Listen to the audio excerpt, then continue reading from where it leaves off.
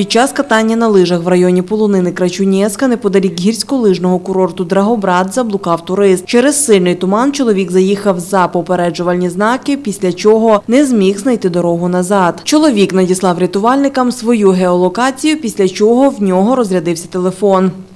Для проведення пошуково-рятувальних робіт було залучено Рахівську гірську пошуково-рятувальну групу, які через дві години знайшли заблукалого чоловіка в районі полонини Крачунеска та супроводили до гірськолижного комплексу Дорогобрат. Стан його здоров'я задовільний, тож медичної допомоги він не потребував.